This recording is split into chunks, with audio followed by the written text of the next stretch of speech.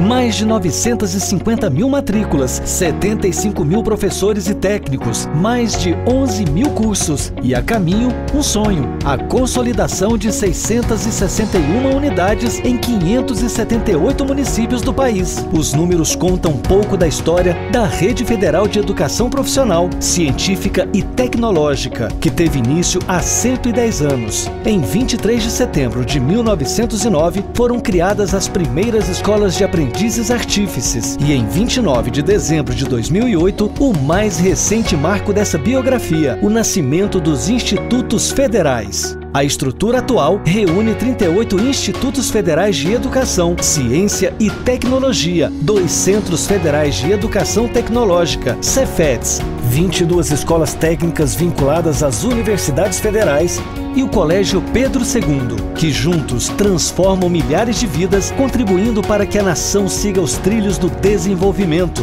A centenária Rede Federal oferta educação profissional pública, gratuita e de qualidade, em articulação com a pesquisa, com a inovação e com a extensão e, em parceria com outros países, promove a mobilidade de estudantes e servidores, incentivando intercâmbio e novas experiências científicas e acadêmicas. Para formar profissionais qualificados, impulsionar o crescimento local e regional e promover a inclusão social, as instituições atuam em diversos níveis de ensino, da educação básica à pós-graduação, incluindo a formação de professores.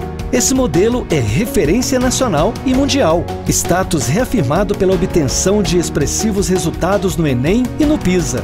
Há 110 anos, nascia a Rede Federal de Educação Profissional, Científica e Tecnológica, que ano após ano tem trabalhado para transformar vidas, construir o Brasil do presente e do futuro.